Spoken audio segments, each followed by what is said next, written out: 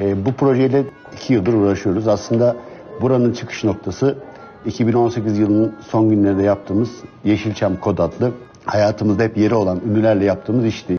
Hulusi Baba'yı tekrar hayatımızda gördük. Adile Naşit'in gülüşünü hissettik gibi birçok güzel yorum aldık ama günün sonunda herkes şunu söyledi.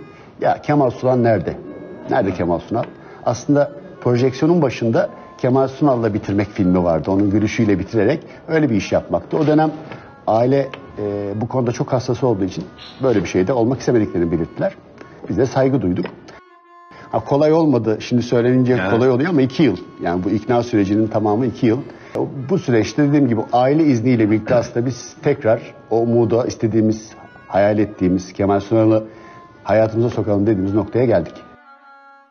Zaten e, ilgilendiğimiz bir konuydu ilk çıktığı andan itibaren ki bu deepfake mevzusu işte birkaç yıllık mevzu yani 2-3 yıllık bir mevzu. Hatırlarsanız işte bir takım işte Jimmy Kimmel'ın şovlarında bir Evet, yandan evet. işte Tom Cruise oldu bir yandan Arnold Schwarzenegger oldu falan. Bizim e, çalıştığımız arkadaşımız Yeni Zelanda'da. Yeni Zelanda. E, zaten Jim, Jimmy Kimmel'ın işleri yapan. Yapan. Tabii tabii zaten. Ama hani bunlara böyle hani mail atıyorsunuz ve mail derken mail adresleri de yok da hani bir mesaj atıyorsunuz. İki ay Cevap sonra falan ya dönüyor ya dönmüyor. Kimisi dönmüyor. Bir şekilde biz böyle bir iletişim kurduk. Bize bir hani güvendiler. Ee, ve e, arkasından da yapmaya başladık. Ee, hala e, dedim ya tartışılıyor. Mesela Hollywood destek vermiyor. Dikkat ederseniz Hollywood bir takım şeyleri, bir takım filmlerde buna ihtiyaç duyduğu filmlerde kullanmıyor deepfake'i. Biraz şimdi- siber e, tek şeyle güvenlikle de ilgili bir şey. Şimdi Kimisi şey yazmış. E, plastik makyajla yaptılar Hmm. yazmış kimisi. Kimisi demiş ki işte hayır plastik makyaj değil şöyle yaptılar.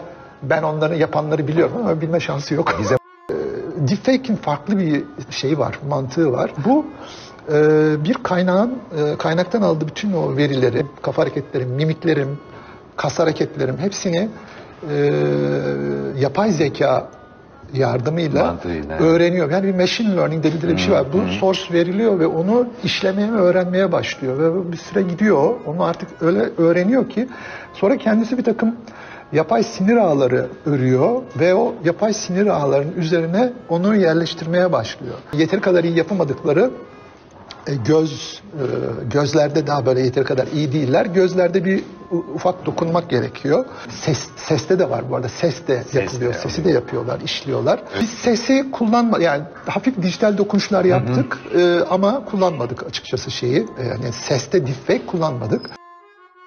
Sırf 31 Aralık'ta yetişmesi adına çok yoğun bir çalışma oldu. Ama çalışmanın sonunu ne yazık ki o bittikten sonra görebiliyorsun. Arada görme şansın o anlamda yok.